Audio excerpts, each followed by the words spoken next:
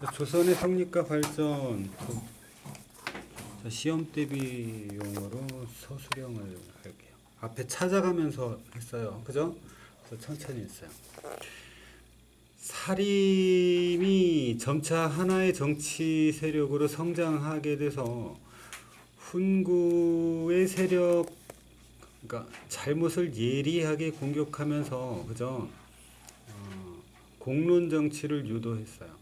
이에 따라서 훈구랑 사림이 정치적으로 다툼이 심해졌는데 이 정치적 다툼이 뭐지요? 아, 그렇죠. 사화라고 하지요. 저런 문제는 안 나오겠지요. 그죠? 자, 음, 이 사화 이후에 사림 세력이 어떻게 됐냐? 사화 이후에 사림이 어떻게 됐냐?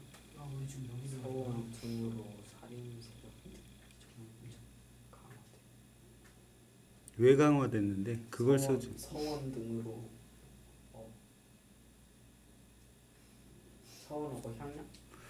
그렇죠. 점수 거의 다 나가 봤습니다. 맞았어요. 자, 사림 세력은 어디에서 향촌에서 서원과 향약 등을 바탕으로 어떻게 계속 성장합니다. 그죠? 그리고 언제 어, 선조 때 중앙 권력을 차지하게 돼.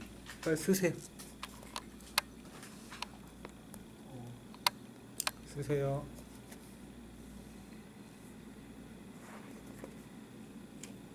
선조 때.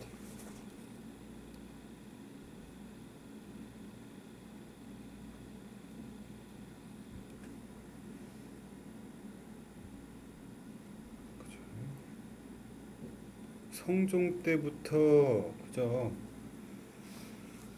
막 오더니 그지?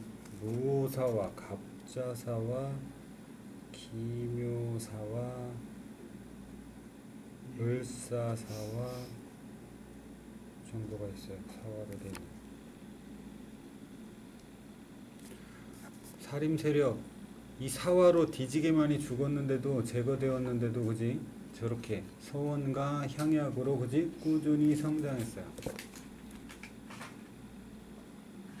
야 연필 잡고 써.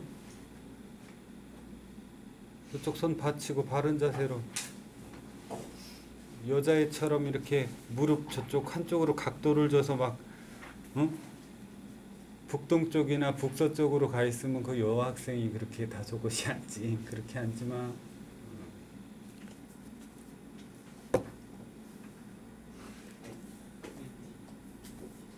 83쪽.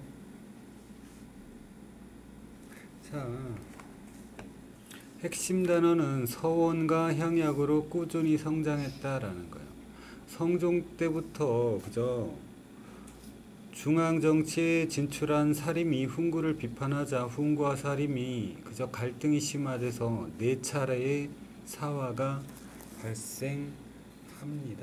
그치요.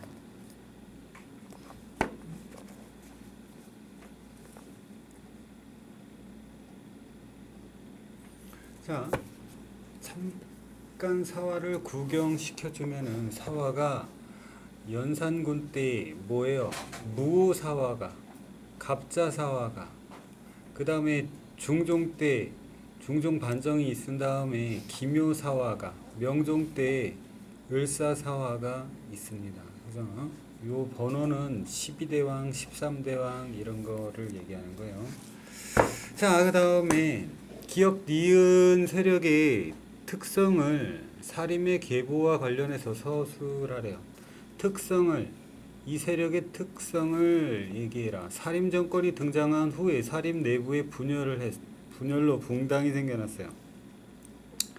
붕당은 인사권을 가진 이조 전랑의 임명 문제와 공론을 둘러싸고 사림이 동서인으로 나뉜 것에서 비롯된다.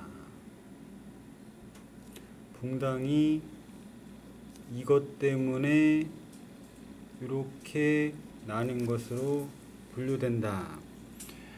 동인과 서인의 특성을 계보로 얘기하래. 계보. 족보를 말해봐라 이거죠. 음,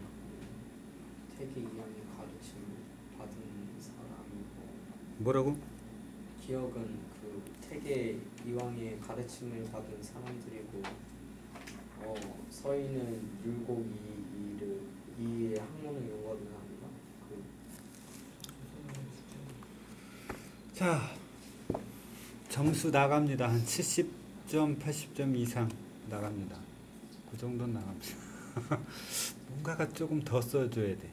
지금 딱 그거만 써줬지, 갈라주고 한 가지만 써줬지, 그지? 그래서 좀 약합니다.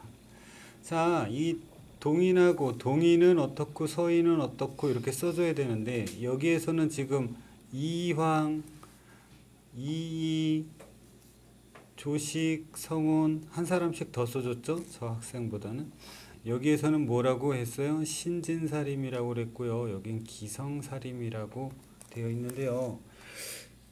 훨씬 더 많은 스토리가 있어요. 다 써주시면 돼요. 동의 뭐 알고 있는 거 다 써주시면 돼요. 특성이라고 그랬어요. 특성.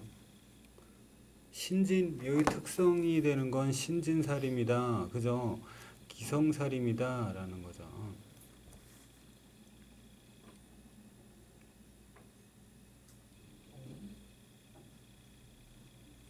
이조 전랑이에요. 이조 전랑. 인사권을 가진 이조 전랑.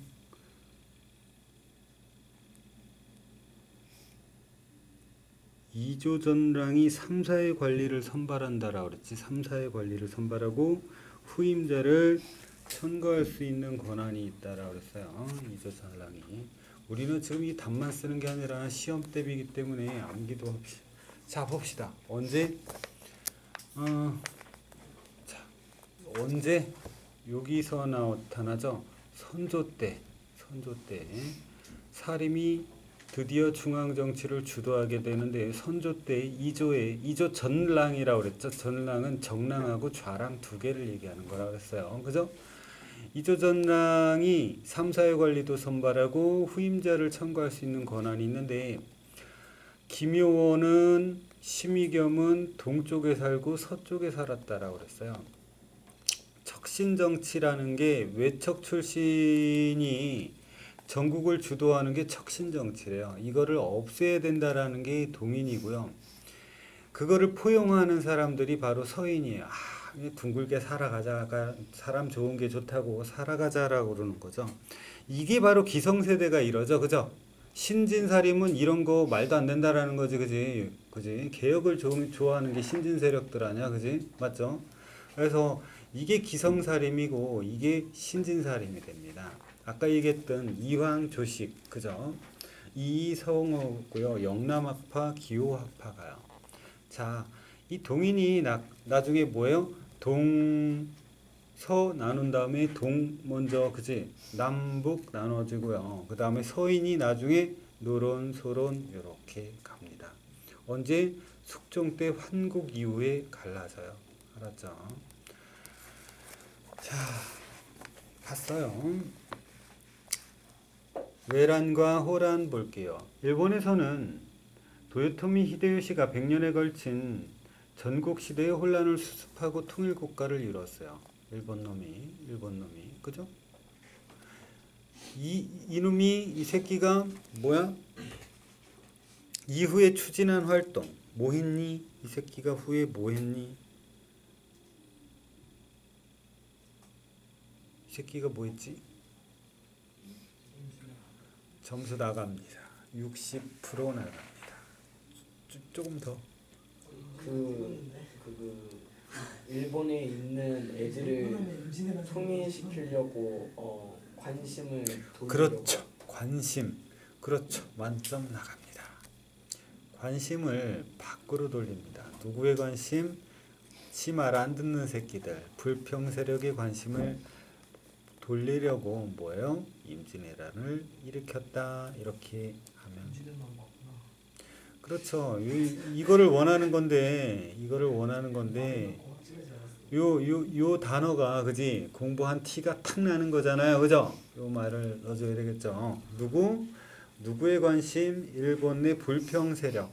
찌발 안 듣는 새끼들의 관심을 바깥으로 돌리는 거예요. 그러면 전쟁하느라고 정신이 없잖아요. 그죠? 대충 넘어가겠지. 써야지.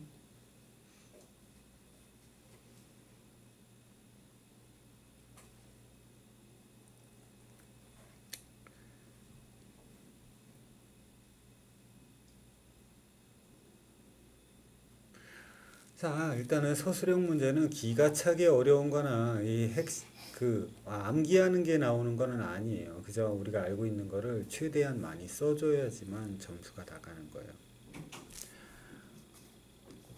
구실은 뭐예요? 명나라를 정벌하러 간다. 길 좀 빌려다고 라고 한 거예요. 알았죠? 다 표현할 수 있어야 돼요. 자, 음, 옆에 보자. 어, 여기 뭐 이순신 장군 있는 거 보니까 지도를 참고해서 조선이 외, 외란을 극복할 수 있었던 건 뭐니? 원인을 써라. 어, 왜 어떻게 극복할 수 있었던 원인이 뭐냐? 여기 지도에 관군도 있고 의병도 있고 그러면 이것만 하면 되겠지. 관군이랑 의병은 이 단어를 꼭 넣어줘야지. 안 넣으면 그죠? 점수가 많이 안 나가겠죠? 왜?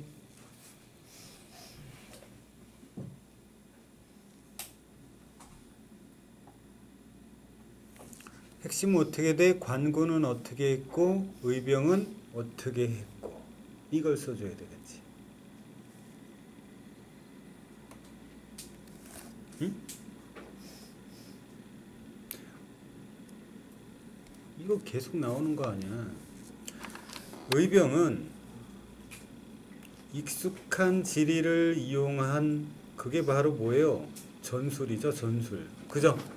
이 고려 고구려 때도 한 번 나왔던 거잖아요. 그죠? 그죠? 주었어요.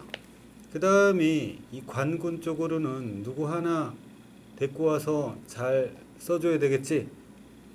바로 가장 공이 큰 이순신 장군님을 데리고 옵니다. 그죠? 제권을 해상권을 장악했어요. 그죠? 그 다음에 관군이 명의 명나라의 원군과 함께 쳤어요. 의병, 전술, 그 다음에 관군, 이순신하고 관군, 그죠? 나눠서 하면 될 거야.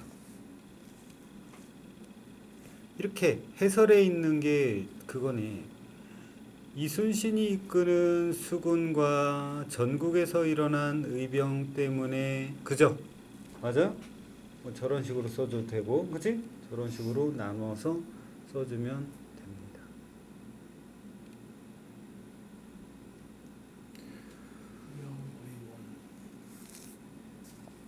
원군, 지원군.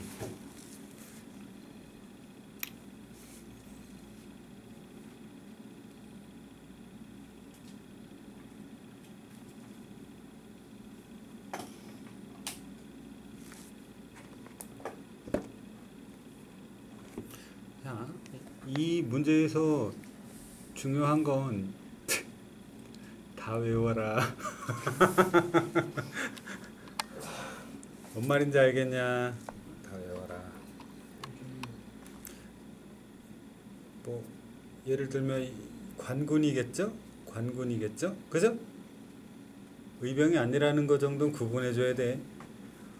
맞잖아. 이거를 외워서 쓰라는 건 너무 가혹하지만 이 사람들이 관군이다, 의병이다라는 건 구분해 줘야 되는 거 맞죠? 거기까지 물어봐도 과한 게 아니죠. 그죠? 그래서 그런 게 출제가 됩니다. 다음 내용을 참고해서 서인들이 서인들이 인조 반정을 일으킨 이유가 뭐냐? 그는 매- 배은만덕하여 천명을 두려워하지 않고 오량캐에게 성의를 베풀었으며 정벌할 때는 은밀히 장수를 시켜 동태를 보아 행동하게 하였다.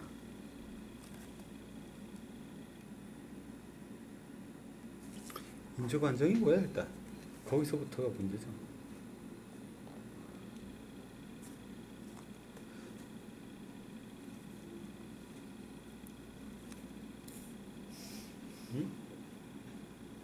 인조 반정이 뭔지 알아야지.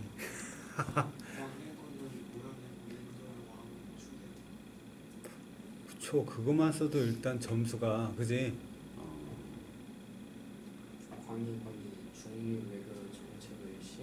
그거까지 써야지 만점 나가는 거. 그두 개가 다 나가야 돼요. 알았지?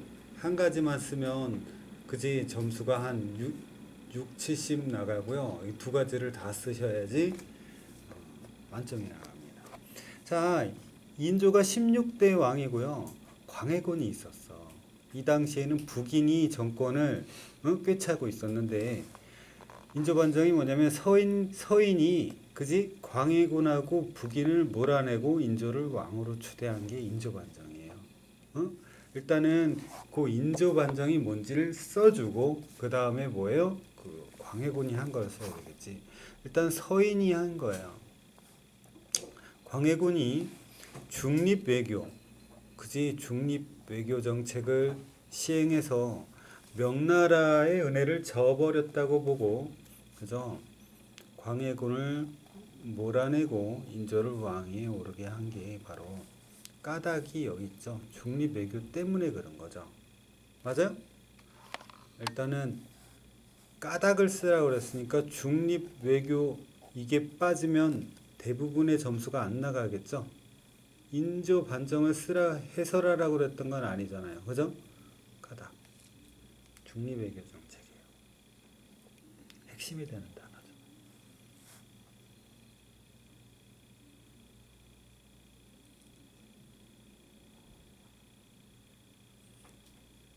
그죠? 중립 외교 정책하고 임목 대비를 폐위한 거랑 영창대군을 살해한 거를 구실로 한 거야.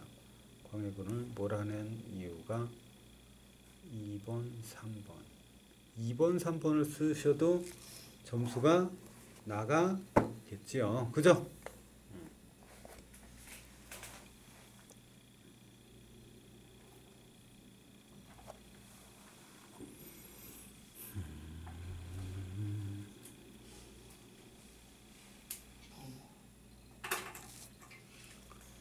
자, 그다음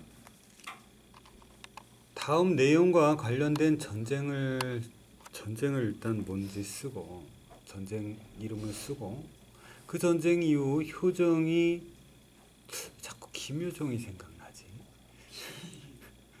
외교 외교 정책 외교 정책을 쓰세요.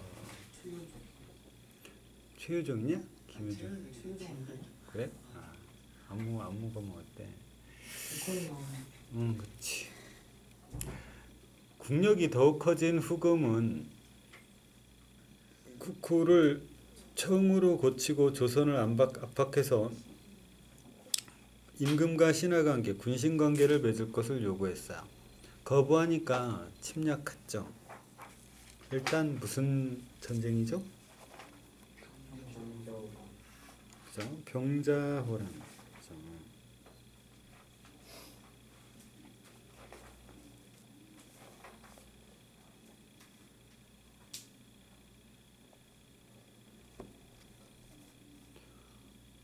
무슨 정책이죠?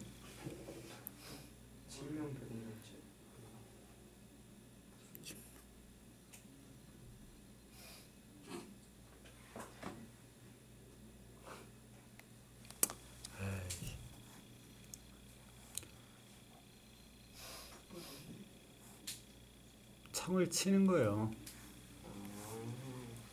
북벌이에요, 북벌.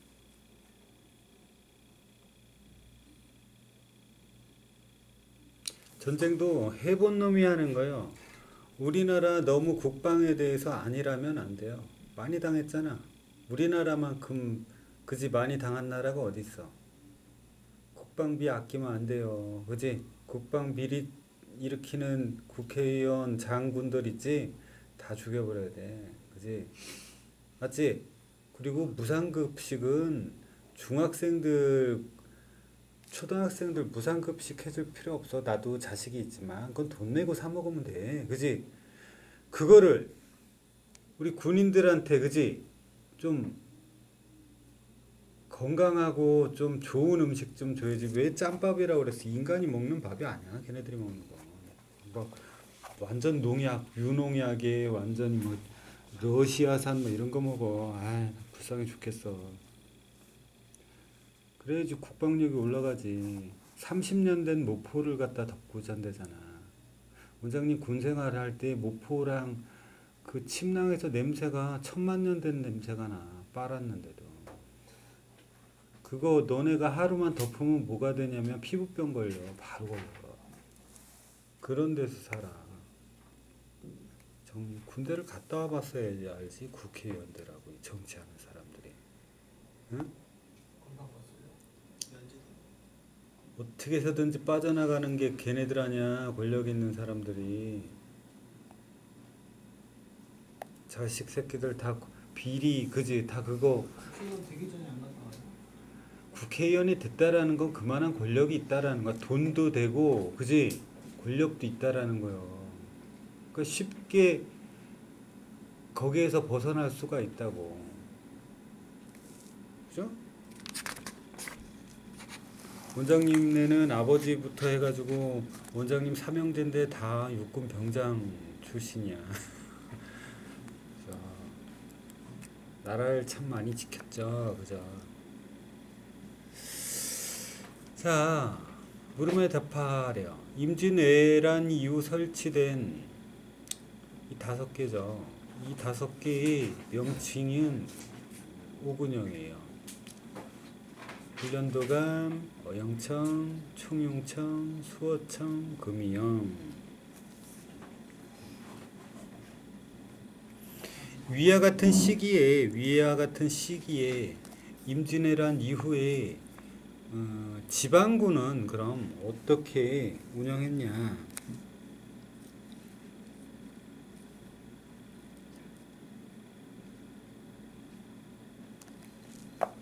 누가 자리라 그랬어, 씨. 몰래? 자리 뭐야, 자리?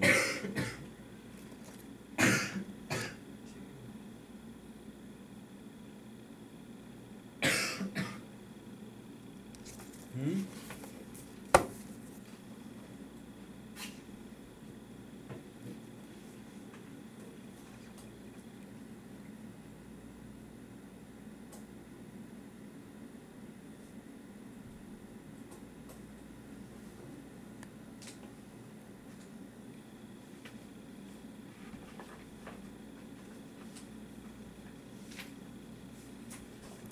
뭐를 써줘야 되냐? 찾아봐. 몇 페이지야?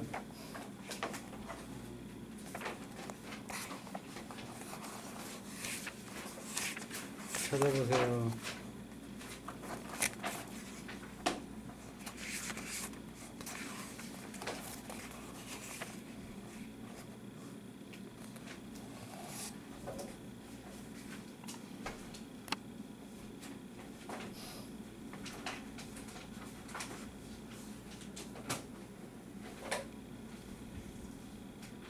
이건 테스트.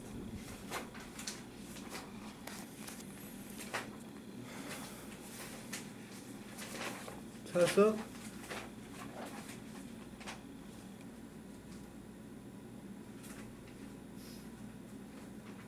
양반부터 초등까지 소환을 하고 그죠? 지방군은 뭐예요? 군사제도 통치기구의 변화해가지고 비변사 나오는 곳에 있잖아요. 중앙군은 훈련도감을 설치했다라고 그랬고요. 그 다음에 뭐예요? 오군형 체제가 완성됐고요. 지방군은 양반부터 천민까지 소거군이에요. 그렇지만 점차 대 천민만 남겠죠. 양반은 요리 빠져나가고 저리 빠져나가고. 근데 지금 전쟁이 뭐 왔, 왔기 때문에 지금 양반이 문제가 아니야. 지금 일본 놈들이 쳐들어왔는데 그지? 와. 뭐예요? 평상시에는 생업에 종사하다가 유사시에는 동원된다. 동원 예비군 같은 거죠.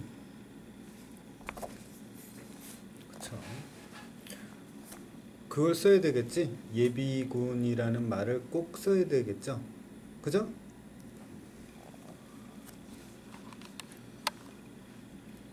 소고군을 편성했다. 소고군은 뭐예요? 양반부터 천민까지. 평상시에는 생업의 종사, 유사시에는 전투의 동원.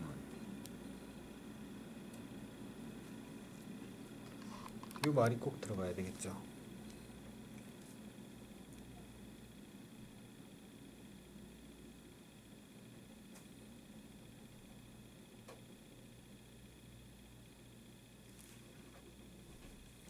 그죠? 꼭 저걸 써줘야 돼요. 우리 알고는 있어요. 근데 잘 안 써져. 이게 문제야.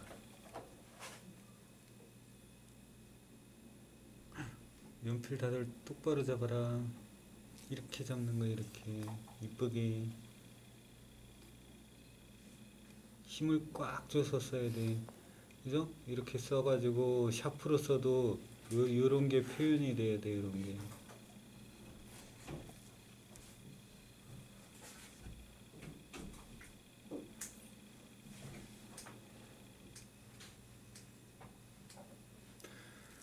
소고군.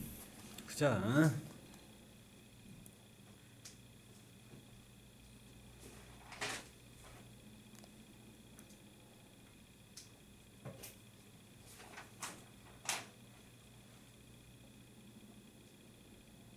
맨 처음에는 조선 전기 때는 막 머리 쓰면서 했죠. 어, 막 잡새꾼 생각나나요? 일종의 예비군. 그것도 평상시에는 생업에 종사한다라고 그랬지.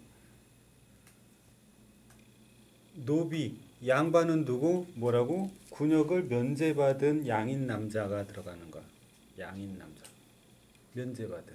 그지? 그렇다고 그러자. 자, 이런 조세제도의 폐단을 고치기 위해서 실시한 정책을 써라. 농민들이 납부해야 할 곡물을 양반 관리나 아전 상인이 납부하는 대신 대가로 곡물의 가격보다 훨씬 더 많은 액수를 농민에게 거두어 이익을 챙기는 행위가 벌어졌어요. 그래서 뭐를 했어요?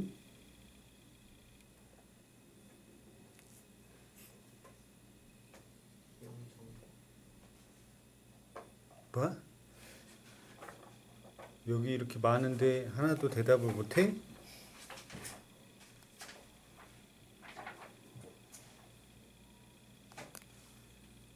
어디 써 있어?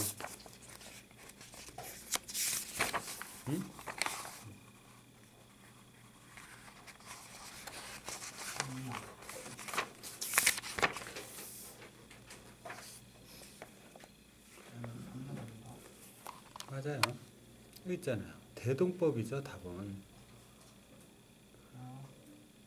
공납 공납이에요. 국가 재정 수입에서 제일 크대요. 공납이. 자, 집집마다 토산물을 공납으로 직, 징수해요. 방납. 방납이 뭐야? 어디 써 있어? 농민이 납부할 곡물을 아전이나 상인이 대신 납부해줘요. 대신 납부해. 대신 납부해주는 대신 그저 그 플러스 알파 고 그지 수고비를 걷어가는데 그게 좀 크나 봐. 그지 맞죠? 그게 방납이에요. 방납. 대신 납부해주는 거야. 토산물을 내야 되는데 대신해주는. 토시 토지의 결수를 기준으로 일결당 쌀 12도 온국감 동전으로 징수했어요. 부담이 커진 지주들을 토지 결수 땅에다가 매겨버리니까 그 뭐예요? 오래 걸렸어요. 전국적으로 실시되는 데는 오래 걸렸어요. 대동법이다. 답을 이렇게 쓰면 되겠네요. 대동법에 대해서 뭐 세래요. 대동법을 써줘야 되겠죠. 뭐야? 대동법이 토지 결수를 기준으로 뭘로 내는 거예요? 쌀이랑 옷감이랑 동전으로 증서하는 거예요. 요거는 박납에 대신 내주는 거라 그랬죠. 폐단을 나타내는 거예요. 이 박납 때문에 그죠? 대동법을 실시한 거예요. 대동법 토지 결수를 기준으로 예를 내는 거 그래서 예를 꼭 써줘야 돼. 이 별표 된 얘네들은 알겠지요?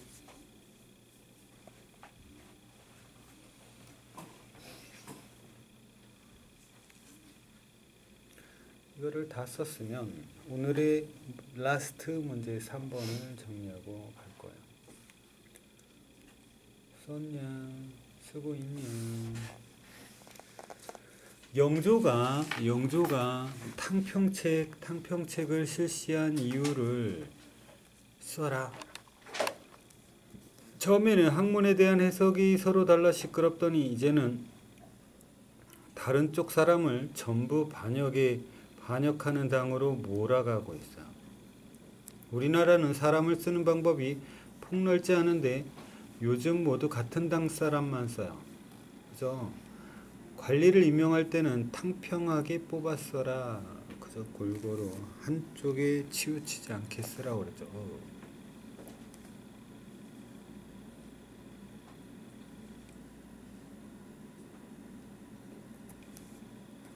실시한 이유를 쓰라 그랬어요. 앞에를 한번 볼까요? 어디 있냐?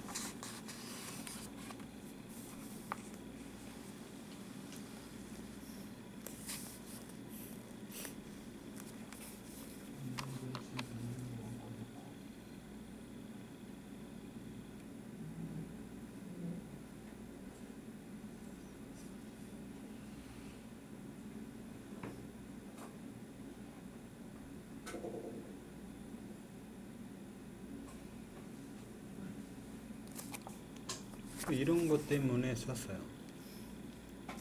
탕평이라는 건 어느 쪽에도 치우치지 않고 공평하게 이루어지는 것을 탕평이라고 합니다. 탕평. 대충은 봤죠, 그죠? 음.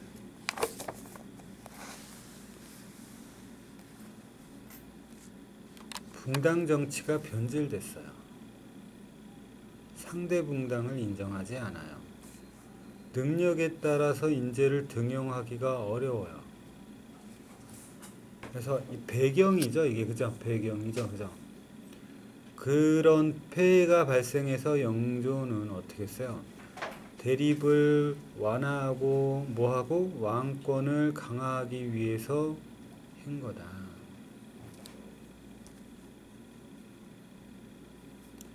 일단은 핵심은 이 1번하고 2번이네요. 왕권 강화랑 대립을 완화시키기 위해서네요. 자,